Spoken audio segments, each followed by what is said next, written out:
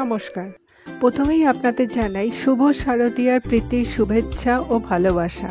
আজ আমি আপনাদের সাথে শেয়ার করব একটা নিরামিষ রেসিপি শাহি ছোলে। এই ভিডিওটা পুরোটা দেখবেন। কেননা ভিডিওটার মাঝে আমি একটা বিশেষ উপকরণ অ্যাড করেছি, যার জন্য এই শাহি ছোলের টেস্টটা দ্বিগুণ বেড়ে গেছে। আমি এখানে আড়াইশো গ্রাম কাবলি ছোলাকে ছ থেকে সাত ঘণ্টা ভিজিয়ে রেখে প্রেশার কুকারে নিয়ে নিচ্ছি। আর পরিমাণ মতো জল নিচ্ছি। আর এক চামচ নুন দিয়ে ছোলাটা সেদ্ধ করে নেব। কড়াতে দু চামচ তেল নিয়েছি আর তাতে কিছুটা বাটার দিয়ে গরম করে নেব।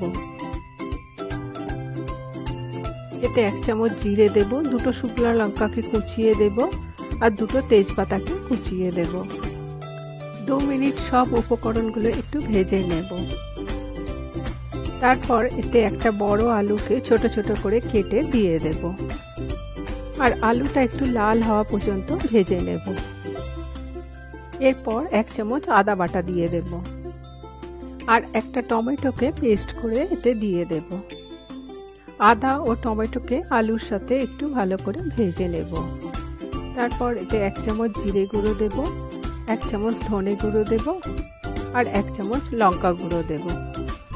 সব উপকরণগুলো দু মিনিট একটু ভালো করে ভেজে নেব। এখন আমি বিশেষ উপকরণটা দেব। তিন চামচ পোস্ত, পাঁচটা কাজু বাদাম ও দু চামচ মগজদানা দিয়ে একটা পেস্ট তৈরি করে নিয়েছি আর ওই পেস্টটা আমি দিয়ে দিচ্ছি। এই পেস্টটা অবশ্যই দিতে হবে, তবে শাহি ছোলার আসল টেস্টটা আসবে। পুরোটা কিছুক্ষণ ভেজে নেব। তারপর আগে থেকে সেদ্ধ করা ছোলাটা কড়াতে দিয়ে দেবো। আর ছোলাটা ফোটা পর্যন্ত কিছুক্ষণ অপেক্ষা করব। ছোলাটা ফুটে গেছে।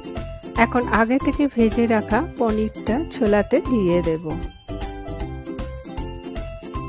পনিরটা নেড়ে ছোলার সাথে ভালো করে মিশিয়ে নেব। এরপর এতে এক চামচ নুন দেব আর দু চামচ চিনি দেবো। নুন চিনিটা আপনারা আপনাদের টেস্ট অনুযায়ী দেবেন। নুন চিনিটা ভালো করে ছোলার সাথে মিশিয়ে নিয়ে ছোলাটা কিছুক্ষণ ফুটিয়ে নেব। আমার চিনিটা একটু কম হয়েছে, তাই আমি এক চামচ চিনি দেব।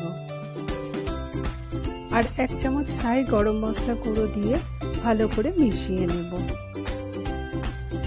শাহি ছোলের এই রেসিপিটা একটু মিষ্টি স্বাদের হয়।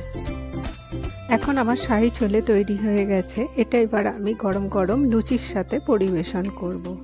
আমার এই রেসিপিটা যদি আপনাদের ভালো লেগে থাকে, তাহলে অবশ্যই আমার চ্যানেলকে সাবস্ক্রাইব করবেন আর লাইক করতে ভুলবেন না।